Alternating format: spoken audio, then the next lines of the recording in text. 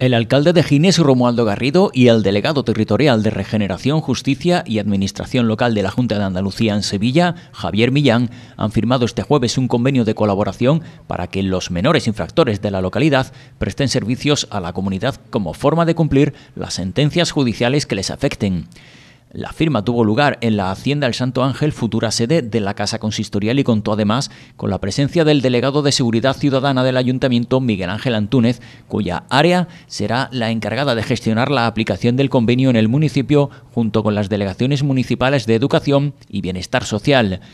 El objetivo es favorecer a los jóvenes infractores que penalmente tienen que cumplir con una sentencia judicial, lo cual podrán llevar a cabo a través de una serie de prestaciones sociales que persiguen su concienciación y mejor adaptación social. Durante su intervención, el delegado territorial Javier Millán destacó la colaboración entre ambas administraciones para la puesta en marcha de este convenio, buscando siempre, a través de él, una finalidad educativa para el menor pues agradecer al Ayuntamiento de Gines, a su alcalde, la predisposición para colaborar con la Consejería de Justicia para firmar este convenio, que no es ni más ni menos que establecer un marco de colaboración para que los menores infractores puedan cumplir las medidas judiciales en medio abierto y sobre todo para que puedan reparar el daño y realizar prestaciones en beneficio de la comunidad, que sean conscientes de, esa conducta eh, anómala dañina que han cometido y que puedan devolver a la sociedad. Estamos hablando de recuperarlos, de reinsertarlos y sobre todo de establecer un marco para esa segunda oportunidad para los menores infractores y debemos contar con la colaboración, como en este caso, con un ayuntamiento como el de Gines,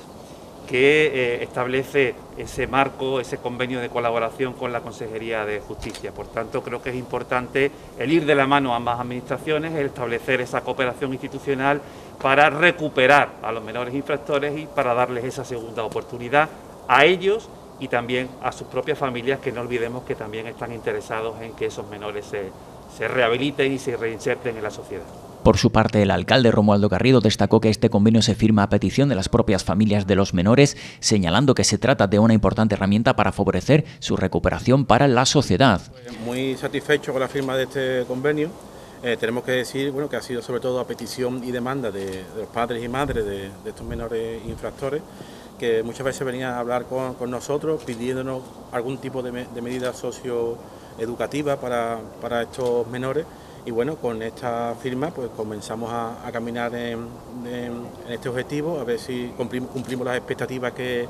tenemos y por supuesto bueno, agradecer a, Javier, nuestro delegado de, justicia en este sentido y por supuesto a mis compañeros del equipo de gobierno eh, en poder llevar a cabo esta iniciativa a demanda, como, como he dicho anteriormente, de los propios padres y madres. Entre las tareas que podrán realizar estos menores gracias a este acuerdo se incluye el mantenimiento de instalaciones deportivas, espacios públicos y mobiliario urbano, la limpieza y mantenimiento de parques y jardines o el apoyo a los servicios de protección civil, además del acompañamiento a mayores y personas con discapacidad o el apoyo a distintos centros y espacios municipales donde puedan desarrollar actividades productivas. El convenio tiene una duración inicial de cuatro años prorrogables. Además, se creará una comisión de seguimiento para velar por el cumplimiento de las acciones a llevar a cabo, así como para determinar la puesta en marcha de otras actuaciones de cooperación.